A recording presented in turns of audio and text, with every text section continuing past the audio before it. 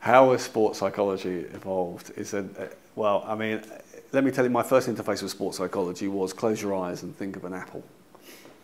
Uh, and then it, it, sort of evolved to close your eyes and think of waves lapping against the shore.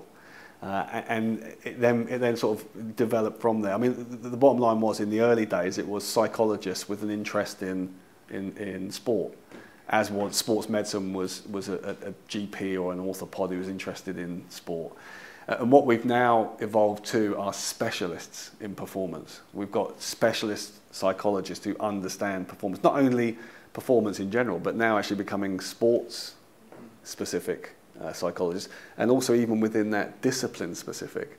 So what we are doing is we're moving towards a much more specialized approach, a much greater understanding of what is required for performance. And I think also on top of that is that we've got this breadth of psychology that is not just about individuals uh, or indeed just team around team cohesion and those type of concepts.